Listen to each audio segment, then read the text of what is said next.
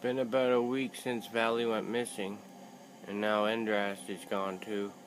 We found blood leading over to the barred off doorway, but Sulla seems to think that they found a way through, and that they are trying to cut him out of the discovery.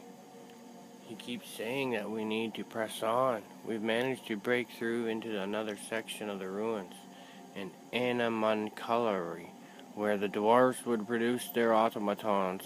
We learned the hard way that the metal creatures are still alive in there, and it hasn't improved Yag's mood at all.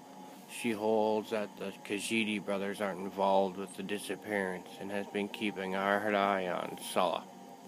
The rations have all but run out, and we are going to have to decide soon whether to brave the storm or try to push further into the ruins. I don't know if the echoes are echoes of screams I've heard in my sleep are those of our missing comrades or my own nightmares. I'll take it.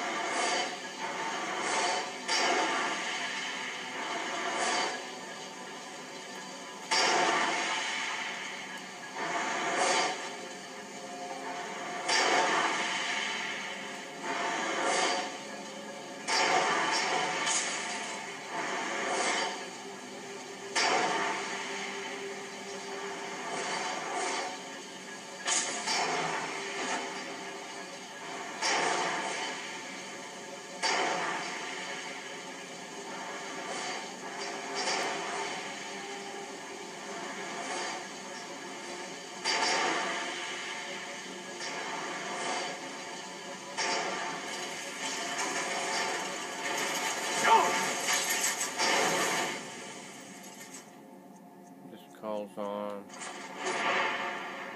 for some. Really, really.